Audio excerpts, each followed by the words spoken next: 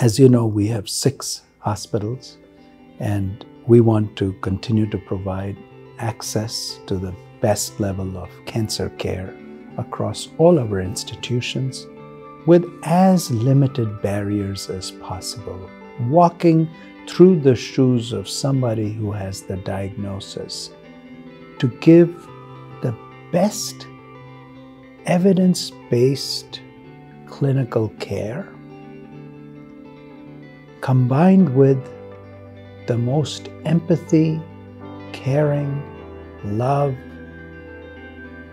personalized attention, which is the basic DNA of our Catholic health programs, and combining and merging the two.